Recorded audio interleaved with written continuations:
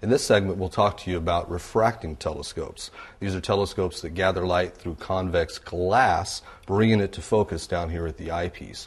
Now, refracting telescope is typically what most people visualize when you say the word telescope.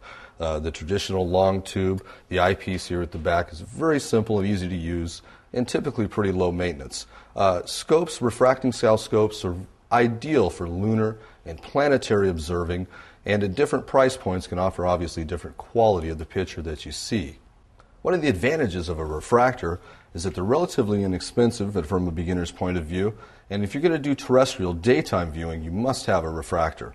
Uh, also, for light polluted areas, areas like if you're in the middle of the city, you want to gather some light, but as you gather more light, you gather light pollution as well. So, inside the city, someone is, is viewing off a balcony or something like that. I will recommend usually a 80 millimeter refractor, and realistically, from there, you will uh, do lunar, you'll do planetary, you can do some double stars. Uh, but basically, where the refractors lack is just light gathering ability. If you want to see the more distant objects, if you want to get outside the Milky Way galaxy, you really need to step up to a little bit more of a light bucket. Uh, I say refractors are relatively inexpensive to get started with, but it also depends on the type of glass you're going to get into. Uh, typically, there are three types of refractors. There's what they call an achromat, and uh, there's an ED glass and an apochromatic. Now, with an achromat, they're referring to how the colors, how the light path comes into focus to your eye. The red, green, and the blue light spectrum travel at different lengths.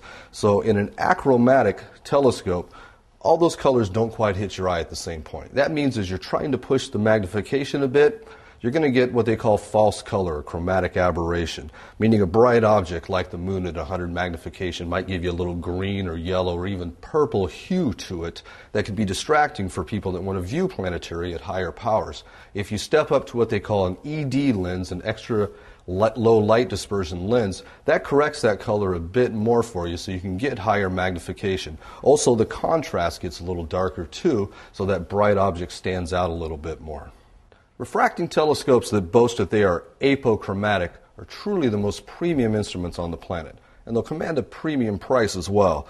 A guy like this right here will push the Dawes limits. When I said you can get uh, 50x magnification per inch of aperture right here, this little 4 inch scope, because of its quality, because of the glass, because of the design, can actually push 150 200, 250 magnification without any false color. They have taken the time to make sure that the red, the blue, and the green hit your eye at the same time. So an apochromatic scope will give you no false color as you increase the magnification. There are exceptions, of course, but if you're looking at refractors, you should understand the term achromat, ED, and apochromatic. This will help you in choosing a refracting telescope. Uh, again, the APOs, the most premium instruments, the darkest contrast makes those dim fuzzies pop out a little bit better. As premium of an instrument as they are, they still lack a little bit of aperture. We're going to talk about larger Newtonian telescopes here coming up.